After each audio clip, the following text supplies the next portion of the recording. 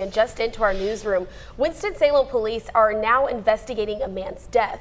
Officers were called to Wharton Avenue, which is right there near Old Salisbury Road, just after 9 o'clock last night. Police there found Benjamin Beeson dead. He was just 39 years old.